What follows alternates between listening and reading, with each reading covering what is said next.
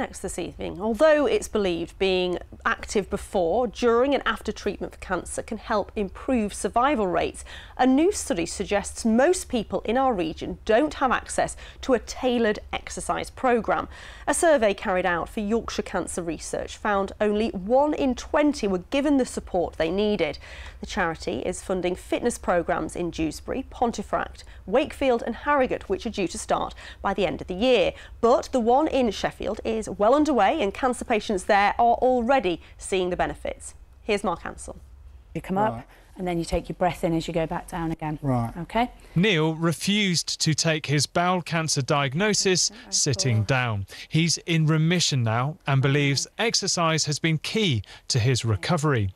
Neil was part of the Active Together programme, where people who are diagnosed with cancer in Sheffield are given an exercise and nutrition programme and psychological support. It was a very dark time in my life and my family's life when I was diagnosed. And to come to a scheme and attend a scheme like Active Together, it gives you that focus, it gives you that motivation to do something to get yourself in a position so you're going to get better. Despite the benefits of being active, new research by YouGov with 500 cancer patients in Yorkshire has found that three quarters of them said that their healthcare teams did not discuss exercise with them following their diagnosis. In Yorkshire, someone's diagnosed every 17 minutes. I wouldn't be here today if I hadn't done exercise. I firmly believe that.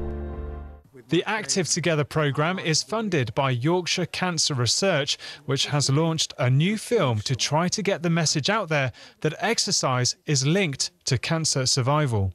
People used to think and used to be told when you had a health problem or when you had cancer, the right thing to do was to rest and to take it easy. But what we know and what the evidence tells us and what our patients tell us is that being active, exercising, um, eating well, eating healthily, looking after yourself, those are all the things that can make a difference to your health outcomes as well as the treatment that you're going to have for your cancer. What um, resistance exercises do you do? What weight exercises do you do?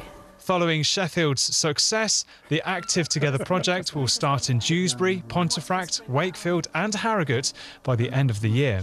Many more cancer patients will be in the best shape possible to recover from the disease. Mark Ansell, BBC Look North, Sheffield.